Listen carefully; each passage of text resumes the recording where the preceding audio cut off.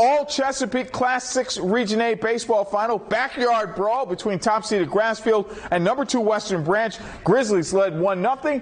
Bruins countered in the top second. Parker Coyle doubles down the line left, scoring Carter Cron to tie it at one. Same inning, bases loaded. Jacob Wright coming through the bases clearing the single, make that a double.